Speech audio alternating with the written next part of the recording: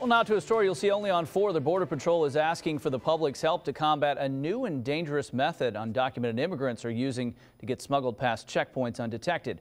Our Ashly Custer is in the Falfurrias with the story you'll see only on Action 4 News.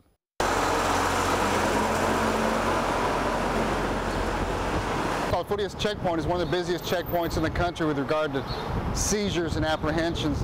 Uh, in addition to that, that we uh, inspect more than uh, 8,000 vehicles per day. So far this year, the Border Patrol has apprehended over 7,000 undocumented immigrants at this checkpoint alone. And now agents are seeing more of these immigrants take bold and dangerous measures to travel undetected through these checkpoints. We don't want anybody to die or get hurt or get seriously injured. Over the last couple of days, there were five incidents where agents found people stashed away in the small upper airflow compartment of big rig trucks. Tuesday on the 31st, we had a group of of seven illegal immigrants, which is, is quite a few illegal immigrants to be hiding in the back of some of these air dams.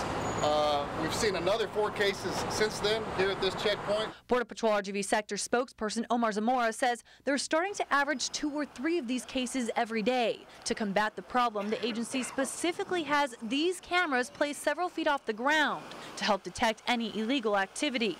And Zamora says he believes the majority of immigrants are camped out at area truck stops, waiting for an unsuspecting truck driver.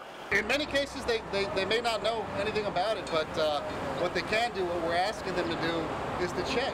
It'll only take a couple minutes. Border Patrol and Brooks County Sheriff's Office are requesting that truck drivers check those airflow vents for people hiding inside because they say whether or not the driver is aware that someone may be up there, they will get cited.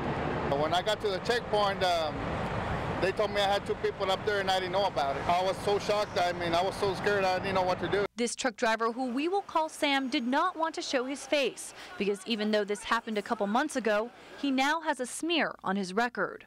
Now I go to Mexico with my passport and they they check me and they put me there like I'm, you know, I'm a criminal or something. They be checking my record and stuff. And if the driver's in on it, yes, lock him up. Do what you got to do.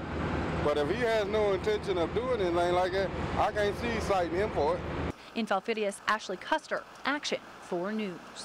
Well, Border Patrol is also asking for the public to report any suspicious activity they may see to 1-800-BE-ALERT.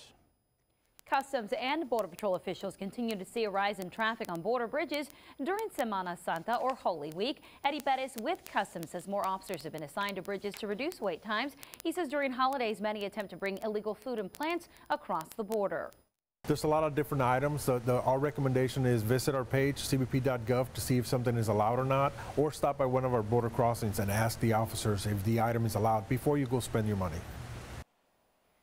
Is urging those traveling in or out of the country to declare all foreign items and have their documents in hand when crossing.